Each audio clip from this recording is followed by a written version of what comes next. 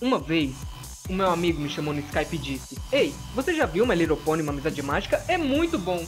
Aí eu disse: Mas isso não é um desenho de criança?